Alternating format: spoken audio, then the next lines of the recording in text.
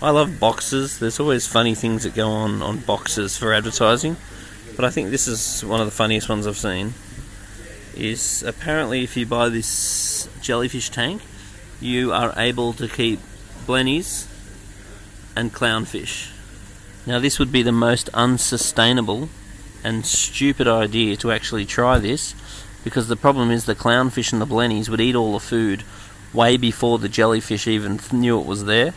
So if you actually did keep clownfish and blennies in the tank with jellyfish, not only would the jellyfish starve because there's no chance of them getting food, but you would over you would um, you would basically overfeed the tank so massively that everything's probably going to die.